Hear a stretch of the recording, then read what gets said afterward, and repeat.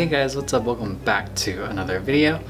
So, Trisha Paytas. Now, there has been a lot of talk about her, especially last month, because she came out with her transgender video and she came clean about being transgender, but got a lot of backlash for it. So I think mostly why people got super irritated with Trish is because what she said didn't really make sense. There was some things that were obvious to understand, but certain things that Trish said, for example, she feels attracted to gay men, so she feels like a man. So certain things like that just didn't really make sense to a lot of people when she came out with that video. So the first thing I'm gonna say is that I am not going to comment on Trish being transgender, whether some may believe it, whether some may not believe it. I just feel like for me, being a gay cis male, I, it's, it's just not my place to comment on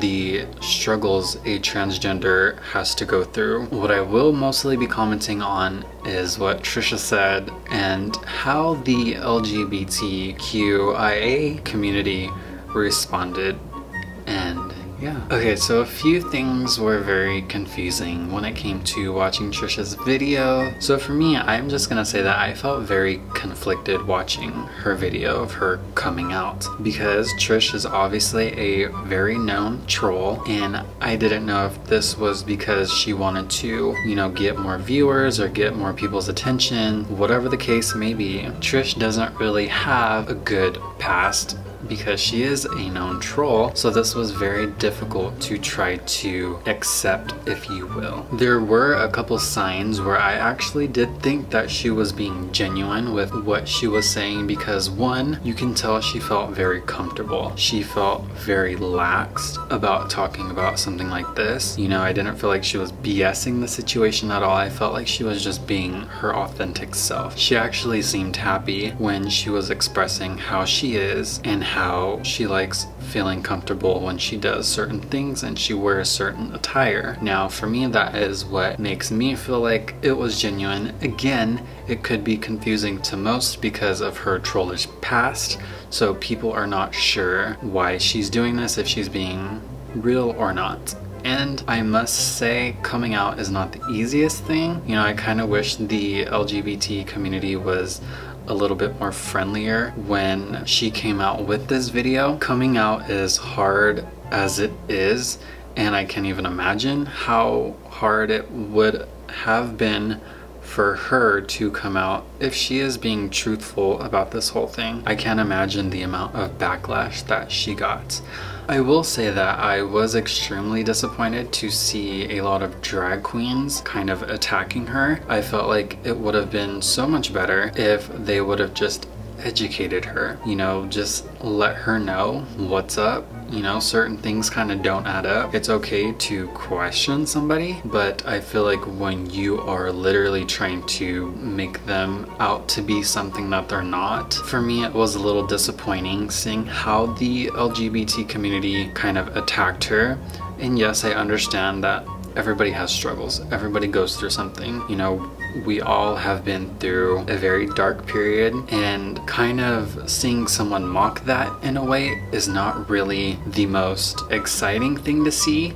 But at the same time, I do not feel like it is necessary to completely drag somebody for how they feel or what they say. And I feel like if she was more educated about what she was feeling, how she was feeling, then she wouldn't have gotten the major backlash that she did. She was trending for a while on Twitter and it was not pretty. A couple things didn't really make sense when she was talking about why she felt transgender. One of the examples were she felt like she was attracted to gay men and because she was attracted to gay men, she felt like a gay man.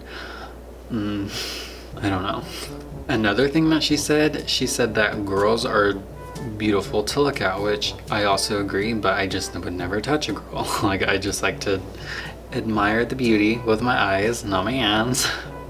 Thanks sis, I can agree with you on that one. Another thing she said, which was actually kind of interesting, is that she had envy. So she would envy anyone with a baby maker because I guess she wishes she had that. Another thing she said is that she thinks the trans community calls her, and because she feels that way, she feels like she should be able to speak on the subject, and also thinks that they and them pronouns are a little bit confusing to understand. She says she doesn't really like labels, but labels herself as a transgender and says she likes being a guy one day and being a girl the next day, which is perfectly fine. I don't know, I'm really like confused. I kind of don't really know what to say. This is like the first video I've ever made that was kind of like really touchy. Um, I just feel like if someone is going to come out especially the way she did, she should have just been a little bit more cautious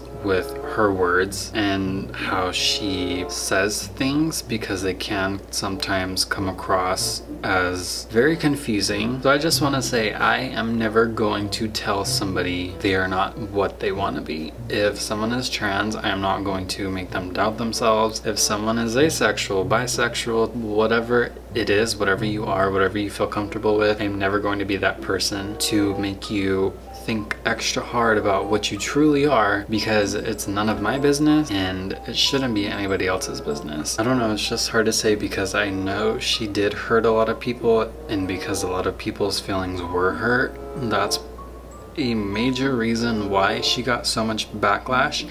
But then again, I feel like if she was just educated more and if she was just more well informed about what she was feeling like, then I don't think it would have gotten the reaction that it did out of people.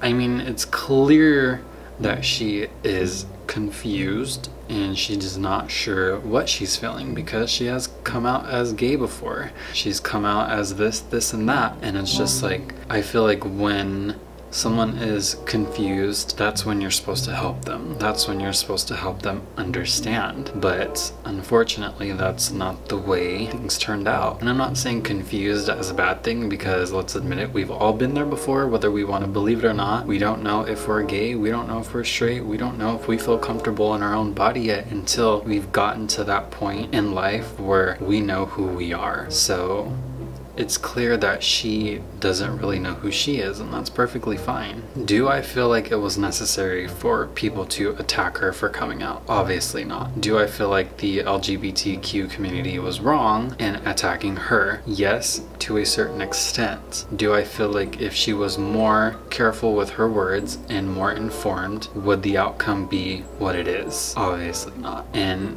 like I said before, it's also very hard to believe because she has a past that has a lot of trolling involved. So, damn, this is just like the first time I just don't know what to say. Uh, but if you guys did enjoy this video, give it a big thumbs up, comment down below what you guys think of the topic. I just, I don't know, I don't really have a lot to say, but yeah, if you are new, subscribe to my channel, and I will see you guys in the next one. Thanks for watching. Bye guys.